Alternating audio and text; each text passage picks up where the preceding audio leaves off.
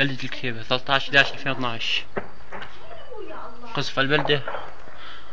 من الثقة العسكرية الواقع شرق البلدة. الله أكبر. الله أكبر.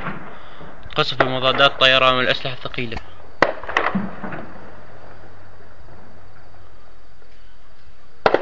الله أكبر.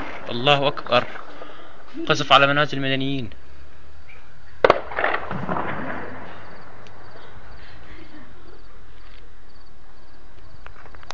出来什么背景都会支持的。